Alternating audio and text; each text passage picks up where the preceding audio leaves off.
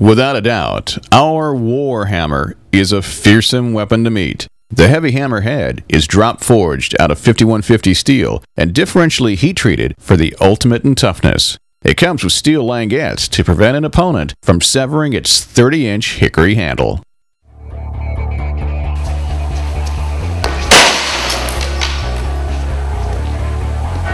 That's with the hammer side of a Warhammer. Look at that. Would you want to be wearing that? Look at the, I don't know if the camera can see in there.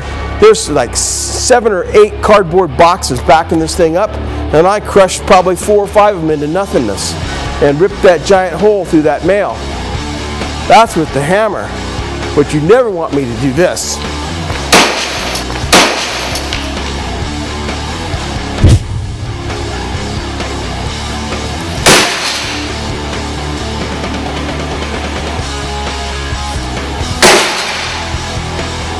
Well, I wouldn't want that to be my face.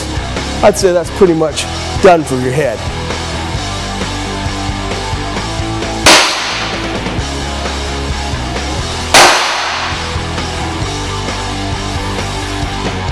And it crushed in the chest pretty good.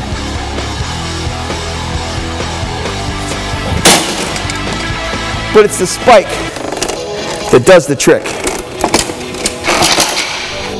There's no resisting the spike.